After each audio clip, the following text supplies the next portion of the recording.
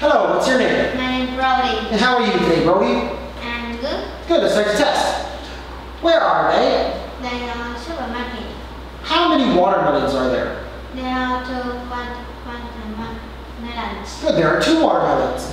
What are they? They are flowers. Excellent. How many pineapples are there? There are three pineapples.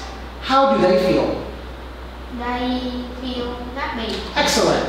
What is it? It's a four. What time is it? It's seven. Good. What is it? It's a fish. Do you like to eat fish? Yes. What is it? It's a pen. What can you do with a pen?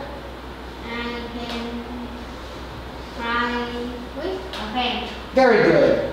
What animal is it? It's a bear. Where can you see bears? I can see bear at the zoo. You did an excellent job.